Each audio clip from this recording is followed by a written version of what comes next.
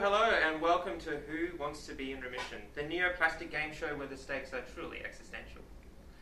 And tonight, let's meet our latest contestant, Victoria Tim.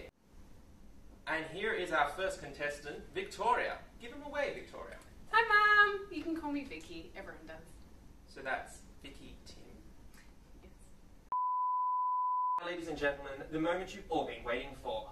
The dysplastic fantastic, the crass mass, the well differentiated ductal carcinoma in situ, and our chaser for this evening. Welcome, welcome. What poor victim am metastasizing this week? Eloquent as always. Vicky, this is your chaser. You must answer the following questions to complete your treatment and stop the chaser from metastasizing and catching you.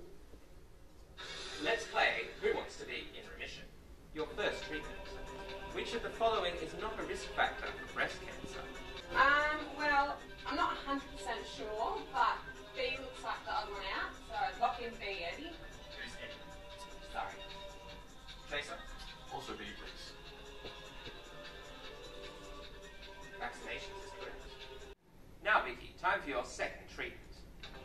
Which of the following is the most common form of breast cancer?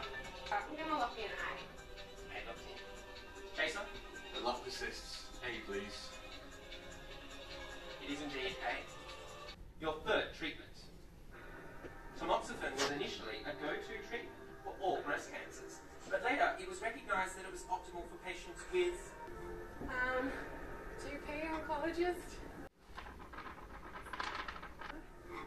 Um, I think I'm gonna go C. Chaser. Well, quite obviously, the answer is A. Our first disagreement. Let's see who's correct. It's all luck. I misread the question. Well done, Vicky. Thank you. And now for your final treatment. Expression of which oncogene protein in ductal carcinoma in situ is associated with large polymorphic cells, poor nuclear grade, and a high mitotic rate. No. You're stuffed now. Um, doctors? No, no, no, no, no, no, no. Um, well, I know RAS is important, and P53 isn't an oncogene, so Chaser. D. D. Chaser wants the D.